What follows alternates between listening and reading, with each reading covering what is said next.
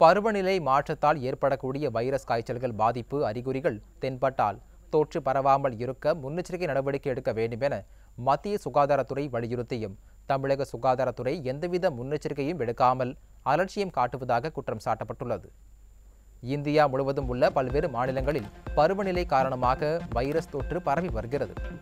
Virus தொற்று அறிகுறிகள் தென்பட்டால் உடனடியாக முன்னெச்சரிக்கை நடவடிக்கை எடுத்துக்கொள்ள வேண்டும் என மத்திய அரசு தரப்பில் அறிவுறுத்தப்பட்டுள்ளது.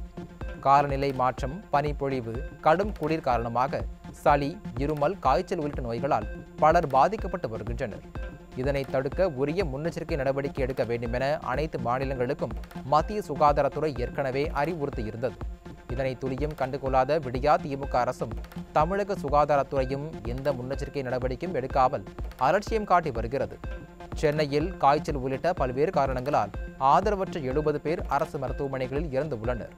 மேலும் தமிழகம் முழுவதும் சுகாதாரத்துறை அலட்சியத்தினால் எவ்வளவு உயிர்கள் பறிக்கப்பட்டிருக்கிறது என்கிற புள்ளி விவரம் முழுமையாக இன்னும் வெளியிடப்படவில்லை என்றும் குற்றம் சாட்டப்பட்டுள்ளது.